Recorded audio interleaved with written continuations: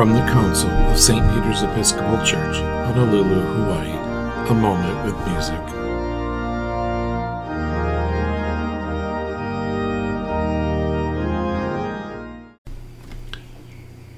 Today we look at a hymn that is filled with imagery for the Easter season and the, the joy of the resurrection. That Easter day when joy was bright, the sun shone out with fair light, when to their longing eyes restored, the apostles saw the risen Lord. Can you imagine? Just just for a moment, can you imagine what the apostles must have thought when they saw Christ? They saw him crucified, and now he is risen.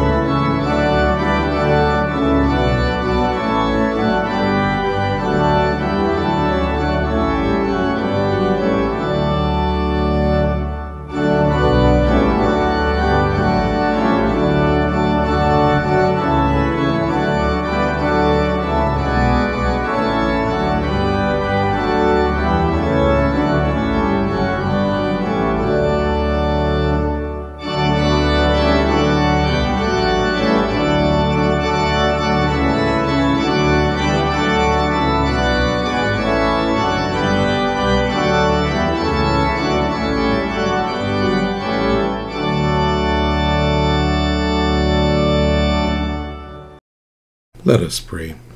O God, who by the glorious resurrection of your Son Jesus Christ destroyed death and brought life and immortality to light, grant that we, who have been raised with him, may abide in his presence and rejoice in the hope of the eternal glory. Through Jesus Christ our Lord, to whom with you and the Holy Spirit be dominion and praise for ever and ever. Amen.